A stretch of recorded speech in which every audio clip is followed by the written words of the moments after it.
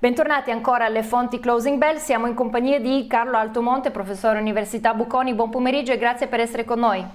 Buon pomeriggio a voi. Abbiamo visto naturalmente un ottimismo eh, soprattutto in Europa dopo il Consiglio europeo, ieri eh, in presenza anche di Joe Biden, il presidente statunitense, si vede già qualche luce nel fondo del tunnel o non ancora? Naturalmente mi riferisco alla campagna vaccinale.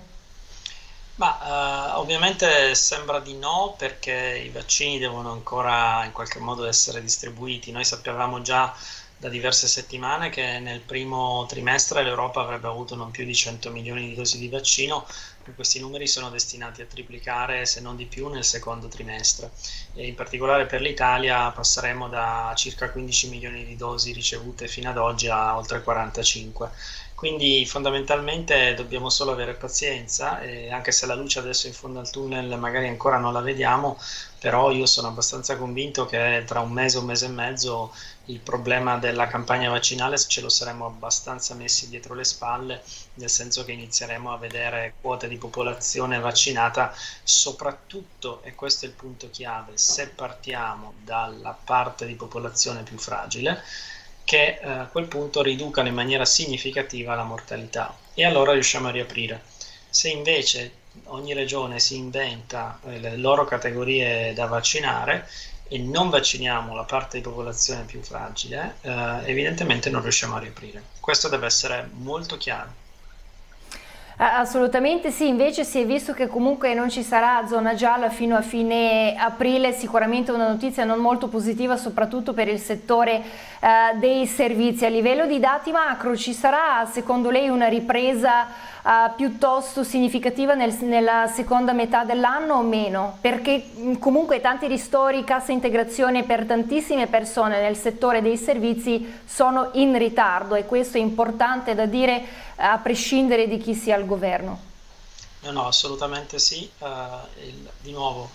tutto dipende dalla campagna vaccinale. Se la campagna vaccinale eh, accelera eh, sia come disponibilità di vaccini che poi come capacità di erogarli alle persone più fragili della popolazione, è realistico immaginare che noi tra maggio e giugno eh, riapriamo parti significative del paese perché a quel punto la pandemia eh, non sarà una malattia che genera mortalità eccessiva, avendo noi vaccinato quelli che diciamo, hanno davvero la mortalità, che sappiamo statisticamente essere quelli con più di 65 anni di età, ma avremo fondamentalmente una mortalità una volta che abbiamo vaccinato questa parte di popolazione che si avvicina a quella di un'influenza. Ergo potremo riaprire il paese e riaprendo il paese prima dell'estate dovremmo confermare la previsione dell'Ocse che ci pone sopra la media europea di crescita intorno a 3 punti percentuali di crescita per il 2021 e più o meno la stessa cifra sul 2022. Invece, um, parlando della campagna vaccinale, in particolar modo europea, naturalmente la Commissione europea ha deciso di intraprendere eh, con un approccio un po' più diverso rispetto alle uh, esportazioni, che è una decisione molto contestata da uh, diversi analisti e diverse persone naturalmente. Innanzitutto quanto democratica è questa scelta e soprattutto che cosa comporta uh, per le relazioni tra eh, la Gran Bretagna e in questo caso l'Unione Europea, che sono già eh, non troppo facili. A me questa polemica fa francamente un po' specie perché l'Unione Europea è l'unico grande paese al mondo che ha dato 77 milioni di vaccini ai paesi in via di sviluppo. Gli Stati Uniti non hanno dato neanche un vaccino e il Regno Unito non ha dato neanche un vaccino. Quindi il Regno Unito e gli Stati Uniti si sono ben guardati da dare al di fuori eh, dei loro confini qualunque tipo di vaccino sia arrivato sul loro territorio sia stato prodotto. Uh, L'Unione Europea ha continuato a fornire vaccini al Regno Unito, visto che le catene di produzione sono in Europa, e ha fornito 77 milioni di dosi al resto del mondo, rinunciando essa stessa ai propri vaccini. Quindi francamente alle anime belle dico state, insomma, guardate i numeri prima di parlare. Eh beh, questo sicuramente un punto interessante, anche la sua posizione uh, è molto chiara ed è un conflitto secondo lei tra uh, l'Europa e in questo caso AstraZeneca o per forza bisogna anche nominare ed includere la Gran Bretagna? No, io ritengo che giustamente, allora, eh, è molto probabile che il governo inglese abbia pagato i vaccini più di quanto li abbia pagati l'Unione Europea. Um, e in più AstraZeneca è un'azienda che ha beneficiato di un finanziamento importante del governo inglese, visto che si trova appunto a Oxford e poi sappiamo a una parte ce l'ha a, a, a Pomezia, vicino Latina. Quindi eh, ha perfettamente senso da un punto di vista commerciale che AstraZeneca in qualche modo onori il suo contratto con il Regno Unito, eh, ha molto meno senso ovviamente che AstraZeneca non onori, violi il suo contratto con l'Unione Europea, ma questo non vuol dire che noi per dire, eh, far rispettare ad AstraZeneca il suo contratto dobbiamo impedirle di rispettare quello con altri paesi alleati come il Regno Unito. Quindi eh, la posizione europea deve essere molto chiara, tutto quello che in qualche modo è sull'Unione Europea ed è destinato all'Unione Europea deve restare sul territorio europeo, non può esserci distorsione di questi flussi. Quello che invece è dell'Unione Europea destinato al Regno Unito va al Regno Unito e poi se c'è un problema di eh, mancanza di, eh, di, difetto di AstraZeneca nei confronti del calendario di consegna dei vaccini con l'Unione Europea, evidentemente ci saranno le sedi legali dove questo contratto verrà eh, in qualche modo discusso e AstraZeneca pagherà i danni che deve pagare eh, all'Unione Europea, ma ecco, non mi sembra che sia a partire da questo eh, il, um,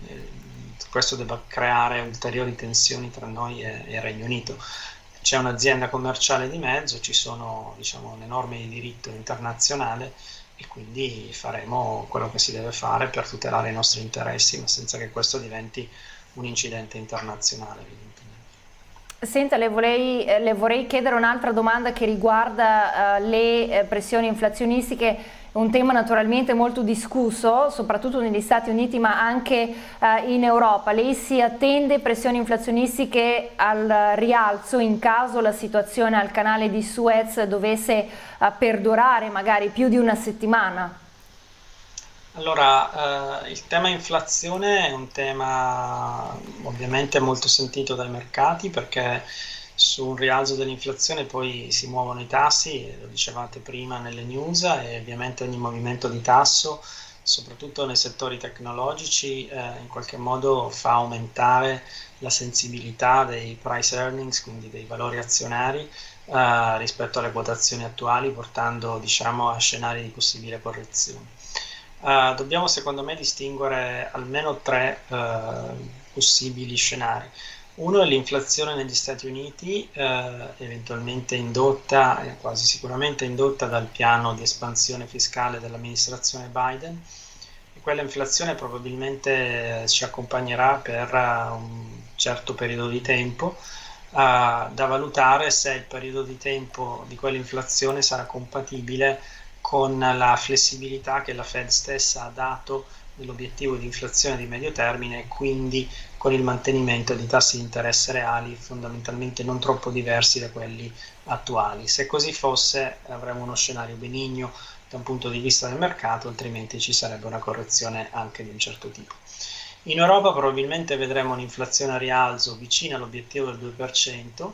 ma eh, è un'inflazione che a mio avviso sarà di più breve durata perché sarà un'inflazione sostanzialmente legata eh, a un classico reflation trade come quello americano, ma molto più spalmato nel tempo, perché evidentemente lo stimolo europeo è più spalmato nel tempo. Nel 2023 noi dovremo crescere più degli Stati Uniti, proprio perché noi continueremo con lo stimolo fiscale del recovery fino al 2026, mentre gli Stati Uniti fanno front loading, mettono tutto subito sul piatto. Quindi probabilmente la fiammata eventuale di inflazione europea è un'inflazione che la banca centrale sarà perfettamente in grado di gestire nell'ambito dell'attuale scenario eh, di politica monetaria. E poi c'è il terzo punto, che è l'inflazione di brevissimo periodo, che potrebbe essere indotta canale, da, dagli episodi del canale di Suez, però ecco, questa secondo me è un'inflazione che potrebbe accompagnarci per un mesetto eh, e dopodiché potrebbe sicuramente portare a, a qualche movimento nei portafogli, soprattutto se la situazione dovesse eh, continuare a, a, restare bloccato il canale appunto. Ma eh, ecco, secondo me questo è un fenomeno che, la cui rilevanza macroeconomica complessiva dovrebbe essere sicuramente transitoria. Ecco, infatti stavamo facendo vedere invece il grafico dell'inflazione di oggi, abbiamo visto ehm, alcuni dati che sono tra l'altro incoraggianti, invece torniamo un attimo sul mercato obbligazionario, il decennale americano a quota 1,64, il trentennale a 2,35, Allora, giusto per riassumere, non bisogna per forza eh, fare riferimento all'inflazione o pressioni inflazionistiche al rialzo quando i rendimenti sono in rialzo, sempre i rendimenti dei treasuries, giusto o meno? Ah, il punto da guardare in realtà è il tasso di interesse reale, dovete prendere il tasso nominale a 10 anni e togliergli il tasso di inflazione.